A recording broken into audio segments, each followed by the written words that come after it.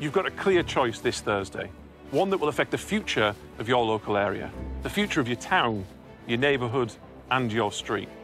And the choice is a stark one between the Conservatives or Labour and the Liberal Democrats. And I, as the Tees Valley Mayor, know how important it is to deliver on the people's priorities. And Conservative councillors across the country are doing just that. They're delivering on the regeneration of our high streets, on delivering better public transport and protecting our heritage and culture.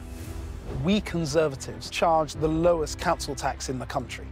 Conservatives fix local roads and fill in more potholes, reducing the wear and tear on your car.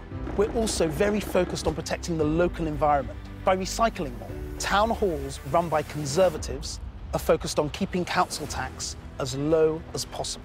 They work with central government in London to secure funding for the best local public services.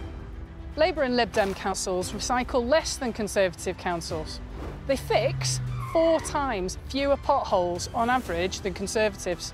Labour and the Lib Dems have no plans, they just waste time and money, your money. Labour have driven several councils into bankruptcy with their mismanagement. Nationally, the Conservatives are tackling the cost of living. There's 20 million households benefiting right now from our £150 rebate on your council tax bills. We've cut fuel duty by five pence per litre, saving the average driver £100 a year.